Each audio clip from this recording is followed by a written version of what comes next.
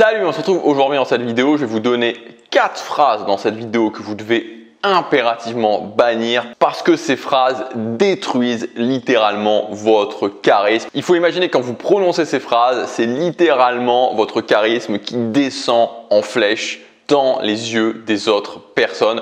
Donc vous pouvez les bannir complètement de votre vie, de votre vocabulaire. Je vais vous donner ces phrases et je vais vous expliquer, selon moi, pourquoi elles ne fonctionnent absolument, absolument, absolument pas. La première phrase, c'est qu'est-ce que tu ferais à ma place?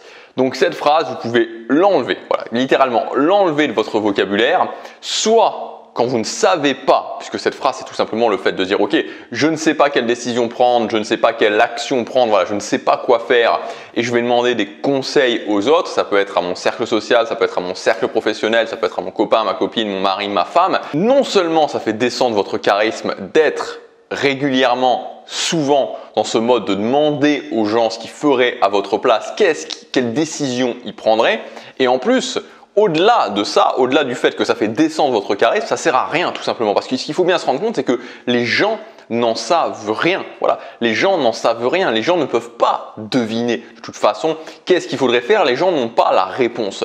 Donc moi j'étais comme ça. Donc je suis très conscient que le fait de demander euh, aux autres leur avis régulièrement, c'est quelque chose qui est rassurant. Surtout que plus c'est des gens qui sont proches de nous, plus c'est des gens auxquels on auquel on va être sensible à la vie. Ce qui est paradoxal parce que c'est des fois des gens qui peuvent absolument ne rien y connaître sur le sujet.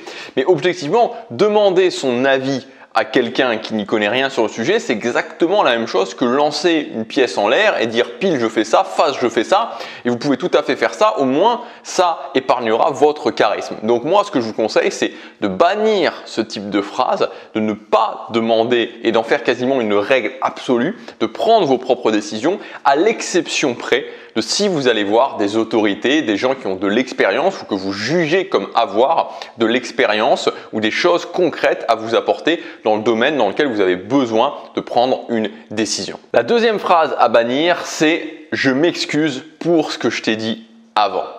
Donc là, encore une fois, euh, c'est plus dans l'idée que ce soit un mode de vie vraiment, c'est-à-dire que si une fois vous dites vraiment une bêtise ou vous voulez vraiment vous excuser, vous pouvez le faire. C'est pas pour une fois, mais c'est le fait de le faire régulièrement. C'est-à-dire que si vous êtes dans ce mode où régulièrement vous dites des choses et ensuite vous revenez en arrière, ça peut être une relation de couple, ça peut être une relation amicale, ça peut être des relations professionnelles.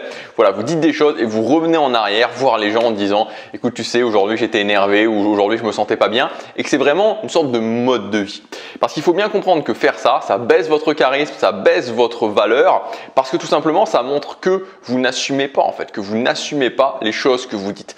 Donc encore une fois, moi je vous encourage beaucoup plus à en faire une règle absolue et à dire ok, quand je dis quelque chose, je ne reviens pas en arrière, je l'assume tout simplement. Voilà, je l'assume, même si c'était une bêtise, à ce moment-là, peut-être que je l'ai pensé ou peut-être que j'étais énervé, mais je l'ai dit et je l'assume. Et c'est quelque chose de beaucoup plus charismatique et en plus, c'est quelque chose qui vous poussera à beaucoup plus peser vos mots. Parce que quand on a tous connu des gens, moi j'ai connu des gens, des gens proches qui faisaient des choses, des choses qui parfois étaient très désagréables, des choses qui parfois me faisaient souffrir et qui ensuite revenaient et s'excusaient. Et vous savez, quand il y a quelqu'un qui fait ça une fois, deux fois, trois fois, cinq fois, dix fois, vingt fois, trente fois et qui revient s'excuser, ça n'a plus aucune valeur. Et peut-être que vous, vous l'avez déjà ressenti pour vous, pour des gens proches ou des gens moins proches.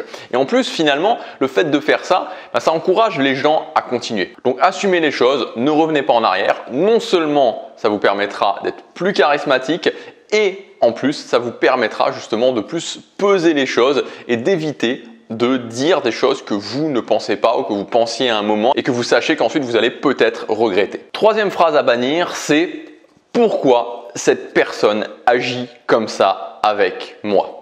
Donc cette phrase, pourquoi elle est à bannir? Parce que finalement, elle pourrait sembler anodine. Il y a quelqu'un qui fait quelque chose que vous aimez pas ou qui vous parle un petit peu mal ou voilà, qui est un petit peu distant avec vous et vous dites pourquoi cette personne-là agit comme ça avec moi? Mais le problème, c'est que premièrement, faire ça, ça montre que vous, avez, vous mettez une importance démesurée sur les réactions des autres personnes.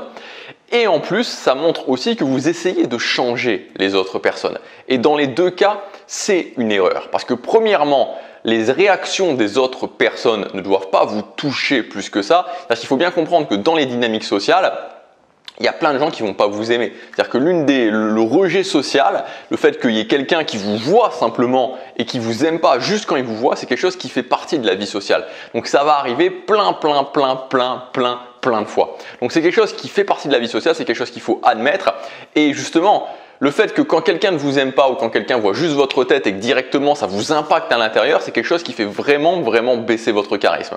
Donc voilà, Apprenez à dealer avec ça, ça fait partie de la vie sociale. Et deuxième point, vous ne changerez pas les autres. Vous ne pouvez pas changer les autres. Vous ne pouvez jamais, jamais, jamais changer ni les pensées, ni les actions des autres. Et il y a quoi? Il y a, quelques jours en arrière, 3-4 jours en arrière, peut-être une semaine en arrière, j'ai reçu un commentaire, je l'afficherai si... Euh, si je le retrouve, c'était un long commentaire où il y avait quelqu'un qui me disait finalement, c'était une vidéo justement aussi sur les dynamiques sociales, et cette personne-là me disait, mais finalement, pourquoi c'est moi qui devrais changer pourquoi c'est moi qui devrais faire l'effort de changer et pourquoi c'est pas les autres qui devraient changer? En fait, c'est très simple à comprendre. C'est le fait que si on se place évidemment dans un cadre où vous voulez créer votre vie sur mesure et donc dans le cadre des dynamiques sociales que vous voulez atteindre vos objectifs dans les dynamiques sociales, c'est-à-dire que vous voulez trouver un copain, une copine qui vous correspond, vous voulez avoir un cercle social qui est là pour vous soutenir, vous voulez avoir des gens dans votre entourage, peut-être des collègues de boulot qui vous correspondent, un travail qui vous correspond, voilà, être bien dans votre vie sociale suivant vos propres objectifs. Si vous êtes dans ce cadre-là, alors à ce moment-là, votre seule option, la seule option que vous avez, c'est de vous changer vous-même. Parce que vous n'avez aucun impact sur les autres. Vous n'aurez jamais, jamais aucun impact sur les autres. Pouvez, moi, j'ai vu des gens dans mon entourage, et parfois dans mon entourage proche, littéralement perdre des années, voire même des décennies à essayer de changer les gens qui de toute façon ne changeront jamais.